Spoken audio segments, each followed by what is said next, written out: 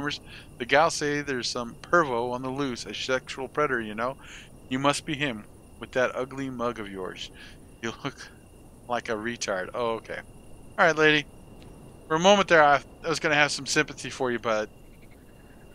As they say, don't let the door hit you in the ass on the way out.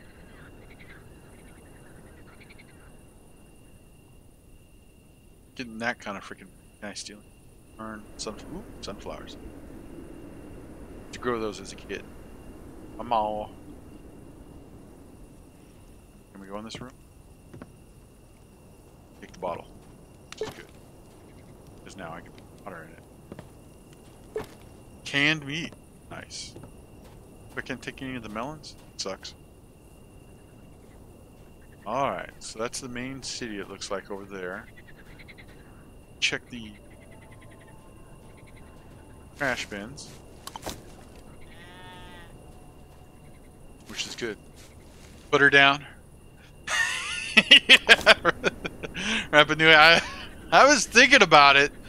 Oh. I didn't have to deal with the rest of the damn town, I might have. Shy, small young man walks around the streets. When he sees you, he turns to you and extends his hand. You grab it without thinking too much and almost cry out. The palm of the man's hand is cold, sweaty, and clammy. Okay. Did I just make a mistake? Catch something? yeah. I mean, the way she was talking, I'm pretty sure no one would uh, mind at all either. But unfortunately, I'm pretty sure the guards might uh, get a little upset. They seem to do that for some damn reason. Don't know why yet. Adam Blinovich, head of the Victim Society for the Victims of Doc Veselov, the infamous medium and pseudoscientist. You are a victim as well? Nah, you're not. You don't even look like a victim, so why are you here? Who's Doc Veselov, and who are his victims? The man suddenly covers his face with his hands and sneezes. He puts his hands back into his pockets. You notice they are now covered in green boogers and smelly slime, with a voice that would make anyone fall asleep, drones on. Just shook his damn hand. Who's Doc Veselov? Everyone knows Doc Veselov. Where I am from, he's a right bastard. Created this pseudoscientific theory, and we are his victims. There, there's so many. Get one new member each month. Continue listening in silence. Some of us he made strong, yet stupid. Some were made smart, yet sickly. His theory that created way back before there was was this. Every person is formed from several so-called characteristics he calls stats, like strength, dexterity, luck, or endurance.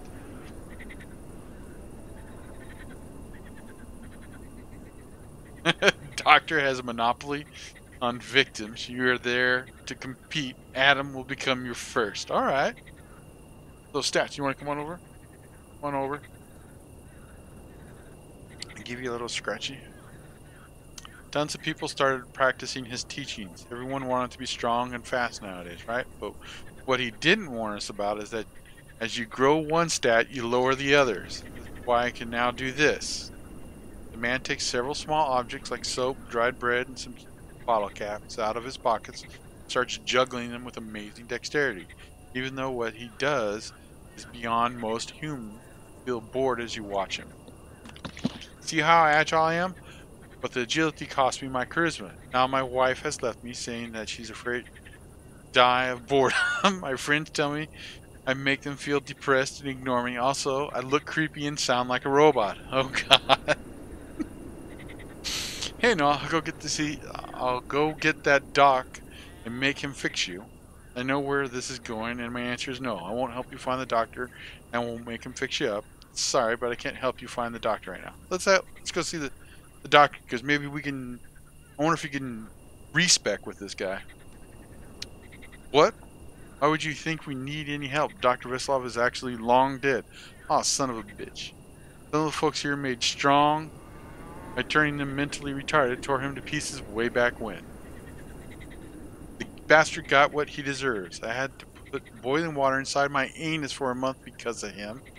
Some folks have it even worse. For example, one guy became so lucky he now finds canned goods everywhere he goes. Yet his endurance is low and his stomach is so weak he just vomits everything back up. And when he doesn't, he gets blood in his farts. My god. So no, no, help is needed. I am simply keeping a list of victims. I take what they can spare and share it with those who have it the worst. Personality. Look, buddy, what you told me isn't even possible. Plus, you're saying you don't have any charisma, yet you're leader of a whole victim society, but making yourself think you're worthless. Boop. The man pouts. It's not Christian to poke fun at victims, friend. Alright, let's change questions. Hold up, just a few more questions. Look, well, if you really like spending time with me, sure. Okay, the man answers you with an annoying, boring, droning noise, reminding you of nails scraping along a chalkboard. Well, I could talk to you. Most people tend to avoid my company. I don't want anything more. Just, just change. I'm done with you, dude. Man, the checks are brutal in this game. Almost feel like you just want you should just focus like on a it's a couple stats and that's damn it. Alright. Wood stacks over here. Got the door. Oh damn. Taking all your freaking core. Or okay, these are individuals. Corn! I wonder what you could do with corn. Need to find a fire. I cook corn? And boil corn.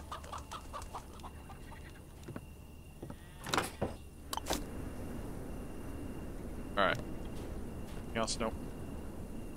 I wish I could cook at these places. Oh, there's a trash bin out back. I guess I'll go rummage around in that.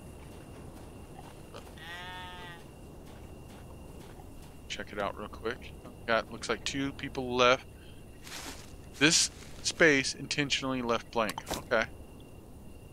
Good news. The toilet? Nope. So we got... Old lady. Oh, wait. Uh... Okay, we already talked to you. Okay.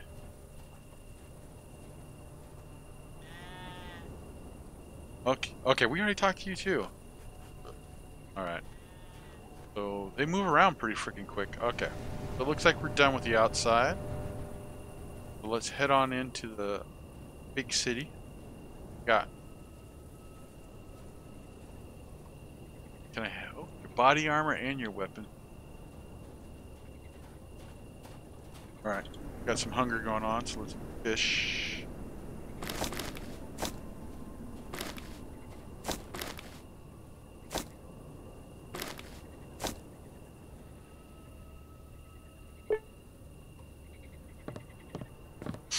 You see a tall, strong man in heavy armor and a ushanka hat. He turns to you while simultaneously grabbing an automatic rifle hanging from his neck.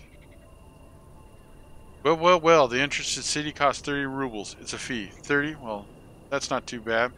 Hey, that's a real ripoff. Give me a discount. Where does this fee come from? Who comes up with charging people for the entrance? Nah, I simply felt like talking to you. Oh, well, then, I'll be on my way. Now, speaking out of line, it's not a ripoff, it's our standard price, so you don't think that any street rat can freely walk into our city. Their guard gives you an angry look. Suddenly he blinks as if having noticed something important about you. The eye suddenly widens as he takes a step back from you. He looks genuinely, he seems so terrified. Oh, oh, oh my. How come I didn't notice it straight away? You are a, you have Krasnov syndrome? No way. I can't let a sick man into the city. Epidemic the last thing we need.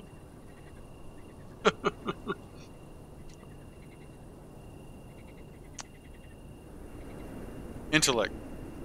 Maybe you're also infected. Let's see, intellect. This whole Krasnov syndrome is just a rumor. There's no such thing. First day, maybe you are also infected. Let me see. Failure. You lean toward the guard to check his pulse, trying to look like you know what you're doing. However, it's obvious that your act isn't fooling anyone. The guard just grins and stops and lifting the barrel of his rifle. No way, bro. Don't try to bullshit me. The sick person is the one who diagnosed the healthy one. It'd be good for you to get some help from the city hospital, but I can't let you in just like that. The man pretends to think really hard, then a mischievous grin appears on his weather-beaten face. Oh, I do have a kind heart. I'll let you pass, but for a thousand rubles. Are you for real? Where does it have... Where would I have this much money from? Failure. Okay, yeah, I haven't passed a single speech check in this game yet. Starting to... I have 60 speech. my highest stat. It's always... Cut them down and you get a free gun. You know, that is an option. It's obvious that the guard hasn't taken your words seriously. A mocking expression appears to, on his face. Well, isn't this a great question? I don't know, but I feel like you of all people should be able to make this kind of money. You need to get into the city, right? Of course you do. I'll get back to you. Okay, so... I'm really getting tired of with people. I'm tired of my speech check failing. Try to make a speech character, and it ain't doing jack. Okay. Look closer.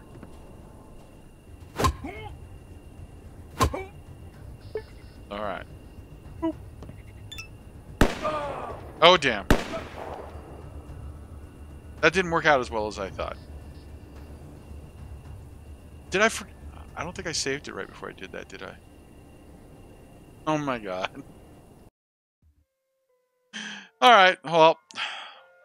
Rapa Nui. yeah. That one didn't work. So we're going to try something else now.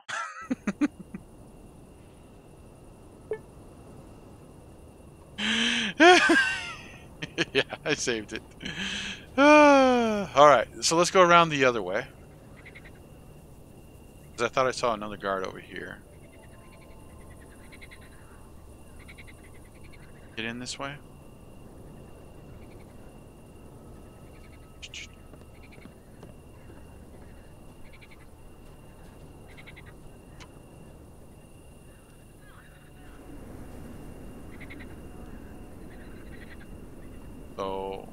I just walk in?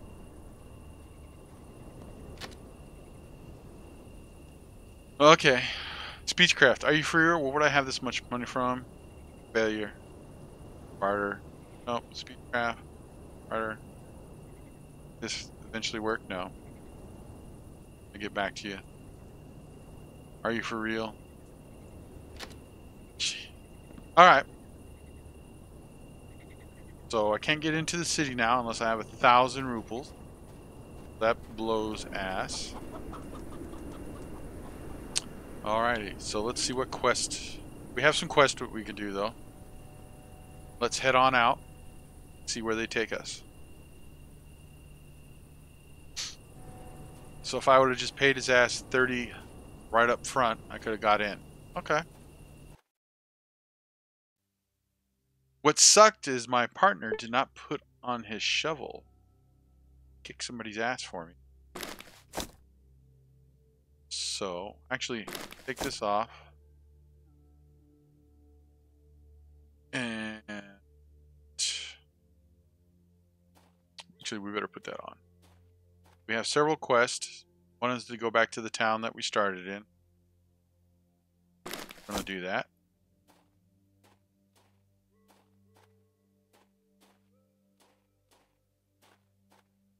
my map now. Oh, sure.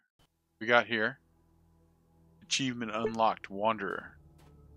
So why didn't you use that shovel as a weapon? Continue. How are you feeling? Let's discuss tactics. This tactics here lies. Okay. First ranks, I'm enduring you running across the war zone, chasing the enemy, behaving in an exceptionally heroic way. Shh. See Fidel, I have an additional offer and I'm afraid you have to. Okay. So let's discuss your tactics.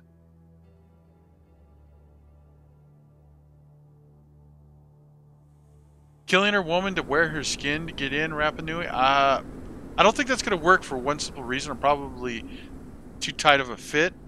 And I don't think, uh, I think her breasts kind of sag a little. So I notice the difference.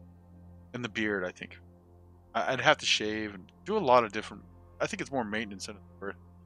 But hey, good idea. I like it. I like it. Keep them coming. Maybe maybe we can work with some. Uh, okay, so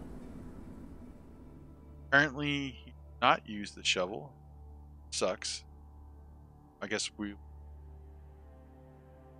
All right. Uh, see what happens. What we got here? Just a locale. Head we in. On that. Okay. It's a way station. A lot of plants. Mushroom. So, picking up some mushroom. Else here? More mushroom. Okay. I wonder if I should have went back and talked to Igor and told him I couldn't get into town. Guards.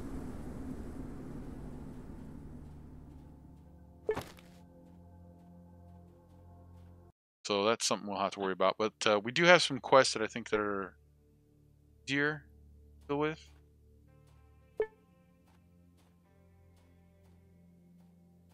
Can't rotate my map today. That's fun. Okay. So go long ass walk. Okay.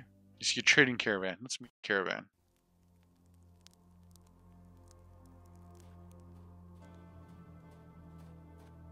Nice cow. Carter, let's do this right now. Show me your stuff. What do you got? That. Probably that. Let's trade you. So this uses five, four, five rounds and seven, six, two. Gonna keep that. 14.5. This is a heavy machine gun and anti-material rifle cartridge used by the Soviet Union former Warsaw Pact. Holy hell, that is a huge freaking bullet. Guess we'll pay with corn? Oh, keep the corn. Maybe it'll sell better at a different locale. So I'm going to keep both the weapons, which are pretty good. Just paying right now. Done. Great. Check to make sure. Get some 730 pounds. Trade. Wait. Gotta actually pay the man money. Done. Trade. Let's see what we got. Passing through. Alright. So, if I use just a pistol, give you the bat, will you actually use combat? That's the question. Continue. Tactics. There's your situation with the ammo. Okay, nope. Great, let's change. Oh.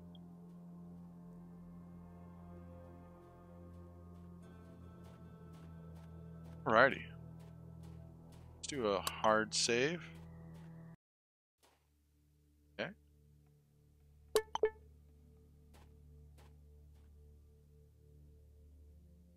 Our quest has us going back up to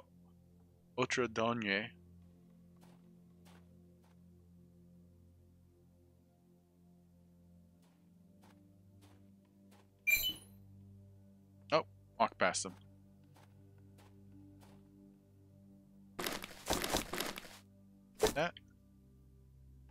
Walking. Quick save. Hey, legalized mids. Thanks for the lurk, man. Going live here shortly? Walk past them. Okay. So we got some better. We're not having to encounter a whole bunch of people like we did yesterday. My God.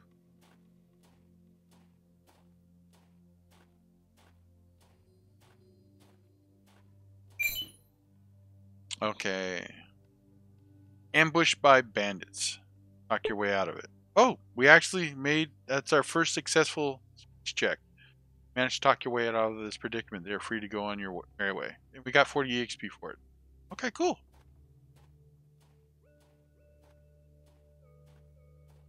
Alright, let's go into town. So the mushroom cult has us talking to some other crazy folks in here. We can go fishing too. Go fishing a little bit later on. Work can wait. I better go to sleep. Where are these crazy people that are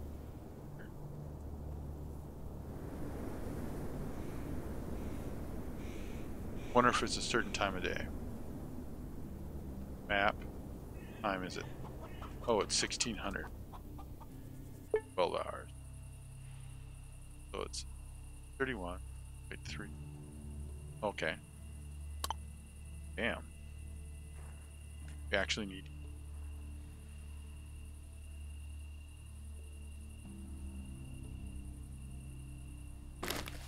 you can't.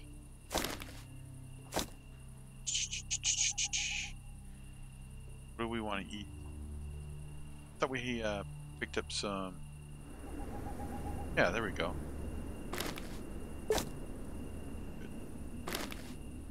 Yeah. Wait until the morning. So it's 9.32. Alright, so groups, travelers.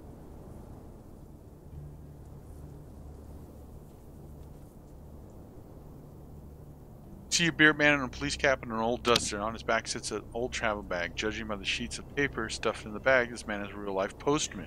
Oh. Got rounds. Got one seven.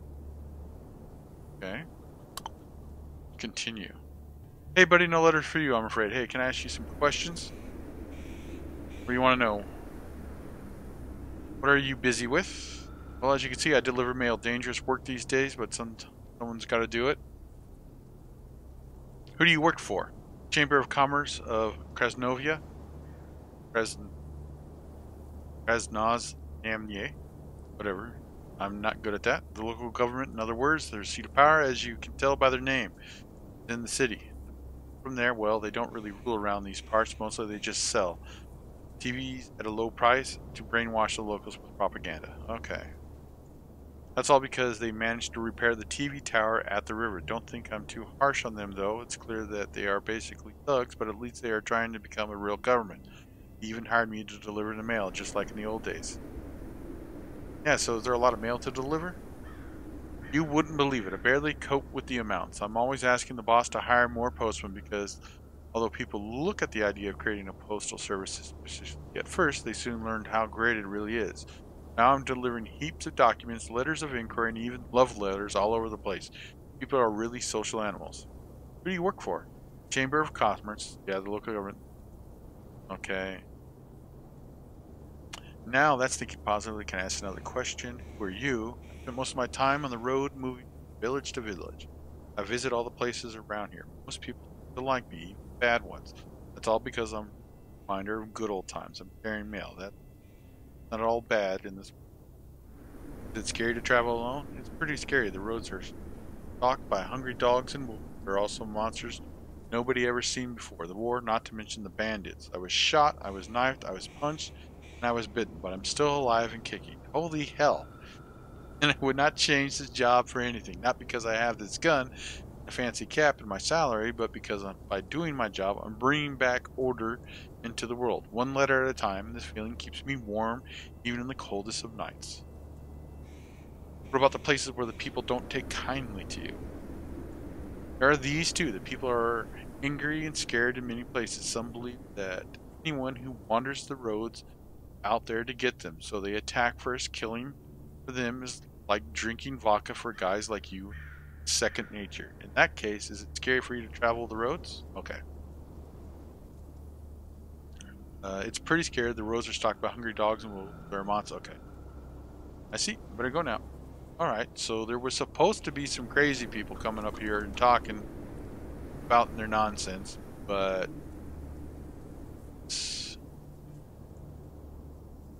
I don't see them. If they were going to come to town, talk to people, you'd think easy to find them.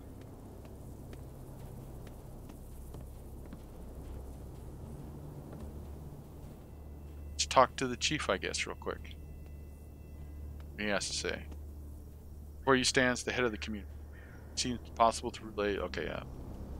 I have something to tell you about the bandits. I have intel on the captives inside the bandit camp. Oh my, oh my. That must be Steblev, our mechanic. He was walking around drunk, telling everyone he became a millionaire. The bandits probably mistook his queer sense of humor for the truth. We need to get him out of there now. I can try and do that, and what if I...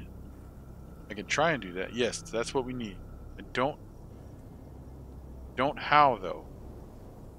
That's just what we need. I don't know how, though. Something tells me that the bandits hold them out of spite for no real benefit of their gang. I maybe, maybe bought out of there from the so-called care, but you will need to talk to their boss to do that. I see. Well, I'll try and do just that. Bye. Good luck. You'll need it. Uh, hold on. I have something else to tell you about the bandits. Nope. So maybe you can talk about Katya Radchenko. Kovalev seems to warm up. His gaze quickly turns suspicious. The strict old man takes a step back and squints his eyes at you. Are you interested? Your voice did change when you spoke about her. Konrad Kovalev shivers as he hears your words, then pouts and begins talking in academic manner. A good friend of her parents back before the war, back before she was born. She grew up with our village, which is very close. Same kind heart, same sad look. She is like a daughter to me, the last reminder of her mother and father my friend. Witchcraft. I'm going to fail this, but we're going to try it anyway. That's not the whole story, is it, Comrade Kovalev? Don't worry. Tell me pour your heart out. Oh my god, I actually freaking succeeded. That's quite a weight on my shoulders, you know. Quite the weight. He rubs his gray temples. He says nothing. After a few long moments, he straightens. His face looks flushed. His lips are pressed tightly together. Katya, she is my daughter. Whoa! Didn't see that coming. Yeah, right. What a twist. I knew her parents for a long time. I served together with Vaska's father. I lost all contact with him after that. He just disappeared from the radar, but then suddenly he showed up in my town with his wife. He was transferred here for some engineering work. And I already worked as a detective with him back then. Fought crime. We became friends, very much so indeed. Soon after Vasya was born, his dad even wanted me to become his godfather. It was a common practice for intelligence, intelligentsia back then. Regretfully, I declined. He was always on the road because of his job. Went to Krasnodar, no, to the different cities everywhere. His wife waited for him, but life can get very boring in such a small town. She was a very smart woman from a good family. Because of her, I read Hemingway and Remarque and all the other great classics. Comrade Kovalev starts rubbing the bridge of his nose, fatigued. It seems that for a man so used to speaking short, clear phrases, it's very difficult for him to speak at length about such a delicate topic. I fell in love with her, never told anyone, not friends, I couldn't even admit it to myself, but once, oh once, I visited her when her husband was we sat quietly for a time and became so lonely, so sad inside my very soul. I never had a family. My parents died in World War II, and I never had a wife. Only my job. I don't know. I just looked out the window, and there was that moon. Looked at the moon as if it was enchanted by it. That moon was like a window into another life, where everything was right. Understand me? The old man looks out the window, transfixed, fixed as though seeing not the dusty wall of the nearby shack, but that same enchanting. When I turned to her, you know, she had that look in her eyes, a piercing look, as if she understood me at that very moment. Understood everything about me and about herself. We were thinking. And after that, all happened on its own, and Katya was born. Wanted to tell the truth about everything, but then the bombs fell, the epidemic started, and the time for talking had passed. Many people died those first days. Anya's parents were among them. First he died, and days later she followed. Oh, say nothing. I see, but why didn't you tell Katya? Why would she need to know the truth? Let her